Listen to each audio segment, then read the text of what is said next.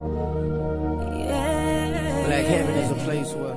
Here is another highly informative, raw audio segment with some very important information. Hopefully, you will gain a better understanding of a few more unanswered questions in your own life. Just by listening to this, we really appreciate you for letting John Henry Media Network assist in expanding your knowledge of self. Now, listen to this. Looking at the blacks in the front seat, joking right now, him and Richard. The ancient Egyptians said the goddess Aset brought fashion and weaving to the banks of the Nile. And, and cloth itself was something considered sacred, considered worthy of the gods. And so in her tomb in the Valley of the Queens, we find Nefertari offering the linen cloth to the god Ptah. Now, Ptah was the creator god, and he's dressed in a shroud. And on his shroud is an X because it's showing that he's in the spiritual realm. And the X indicates resurrection in the spiritual realm. So long before Spike Lee popularized the X and made it something that anybody felt comfortable in wearing, the X was the symbol of African people countless thousands of years ago. And behind him is the Djed pillar indicating stability. It looks like kente cloth, doesn't it? Also showing the colors of red, black, green, and gold were the colors of African people countless thousands of years ago. And on the papyruses throughout Egypt, the very planting of the flax seeds, which was used to make the linen cloth, is depicted. And here we have, if we start from bottom and move to top, it's presided over by the goddess Aset. Here's her throne, as well as the Neterus or the spirits, as our brother plants the seeds. It's then harvested and bound, and then taken before the god Tahuti, the great lawgiver. And once his approval is given, our brother takes the solar bark across the skies and into the spiritual realm, where we find his cot or mummy wrapped in the linen cloth, the most spiritual act of all.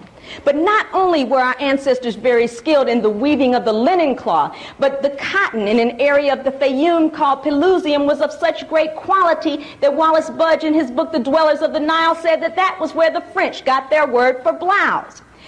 But wool, however, was something looked at in contempt, as something worn only by barbarians. And that's why in this ad for wool, we see that it's an Anglo fabric, something worn only by barbarians. And here, even we were able to make pleats in ancient times. And this tunic, dating back to the sixth dynastic period, is a pleated garment over, made over 4,000 years ago. But in Thread magazine today, white folks are still trying to figure out how to sew with pleated fabric. And a designer by the name of Mary McFadden gives up Africa as her source of inspiration. And even the world's oldest surviving dress was found in Tarkhan in Egypt and dates back to 2800 BC. But let's just take a look at some of these garments that were worn. Now here we have our acrobatic dancer sister over 5,000 years ago wearing what we would today know as the loincloth. And Don Luke, in his article on the African presence in the early history of the British Isles and Scandinavia, shows us a Scandinavian figure very closely resembling our acrobatic dancer sister and also wearing the loincloth. Well, out of this loincloth developed what we would today know as the underpants, which can be seen on this terracotta figure from Edfu in Egypt dating back over 3,000 years ago. But in this painting from Europe, the woman has fallen off the horse here and nothing's under those clothes. And it does not seem that English women wore drawers before the very end of the 18th century. So while we had them over 3,000 years ago, brothers and sisters, they did not even have the drawers 300 years ago. So long before ballet, long before Vanity Fair, and long before Fruit of the Loom, we had the drawers. So, brothers and sisters, the most revolutionary act you can make every morning is stepping into your underpants. and the, even the slip or petticoat. They tell us in the history of lingerie and pictures that this garment was a natural development from the fine, lightweight linens produced by the artists and craftsmen of the Nile and was part of the practice of personal cleanliness for which Egypt was famous. So even that too came from you. But let's take a look at some of the outer garments. Now here you have the calasiris or sheath, which is worn here by the goddesses Neith and Selket. Now this tight-fitting garment was called the calasiris, as you can see here. But modern designers would have you believe that they were the ones who created these styles. But once again, that which was once sacred and worn by our goddesses is being copied, and, and uh, modern designers today are make millions of dollars off of them.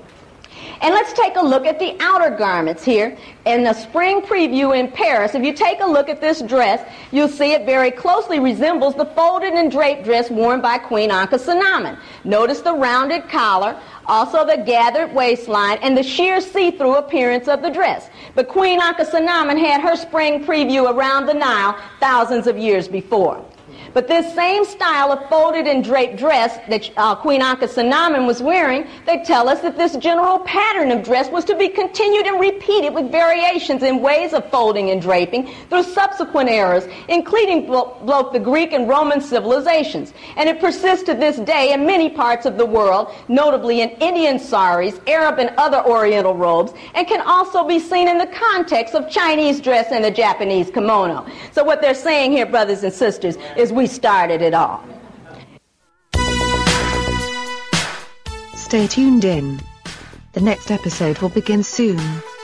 You have just heard another great and powerful message for our black community. Brought to you by John Henry Media Network and the United States of America, this is the place for you, your family and friends to hear. Educational messages and music from other very important black people to help build a stronger and more revolution-ready black America.